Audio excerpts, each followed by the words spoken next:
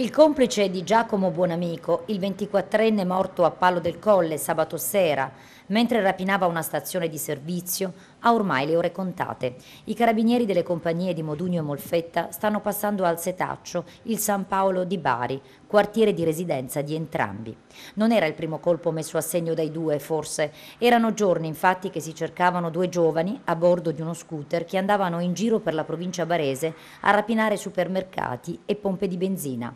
Forse gli stessi che sabato sera hanno agito nel distributore di Palo, dove avrebbero puntato la pistola all'addetto alla pompa, di qui la reazione decisione del gestore della struttura, che all'ennesima rapina, pare infatti che fosse la terza nel giro di poco tempo, ha estratto la pistola, legalmente detenuta, una calibro 9, e ha sparato tre colpi. Uno di questi ha colpito buon amico al fianco.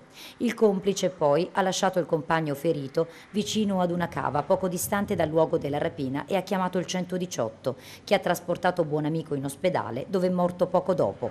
Tramite la vittima, un ragazzo di buona famiglia pare, e tramite i suoi parenti, si sta cercando di risalire al suo complice. Intanto, sul fronte delle indagini, resta da stabilire se il proiettile estratto dal cadavere è compatibile con quelli trovati all'interno della struttura.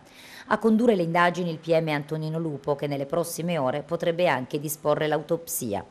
Nei prossimi giorni saranno invece visionati i filmati delle telecamere di videosorveglianza per stabilire l'esatta dinamica dell'accaduto.